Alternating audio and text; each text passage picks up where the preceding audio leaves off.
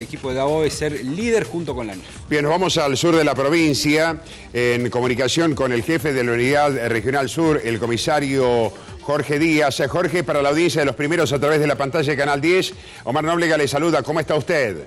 ¿Cómo está Omar, usted y a la audiencia? Bueno, Bien, acá eh, ha pasado por agua. Eh, llueve muchísimo en Concepción, así que estamos pasando por agua.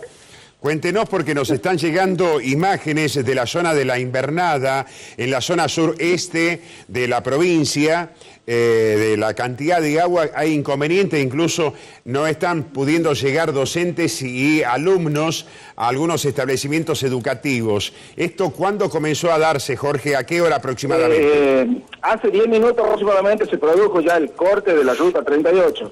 Y a mí aproximadamente desde las 7 me están informando que estaba circulando con precaución eh, a la altura de la invernada, porque cruzaba el agua por la cinta asfáltica. Este, bueno, ya hace 10 minutos la ruta ha sido cortada porque se ha incrementado el nivel del agua. Este, es lo único que tengo, Omar. Bien, Y estamos trabajando con regulación de tránsito en el sector, con personal de la Cocha y de Juan Bautista Alberto.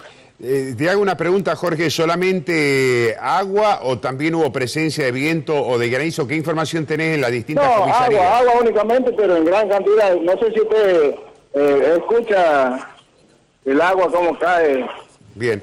Hagamos una cosa, Jorge, hagamos una cosa, haga silencio, a ver, vamos a tomar el audio entonces del celular a ver si, si se hace sentir la lluvia. Ok.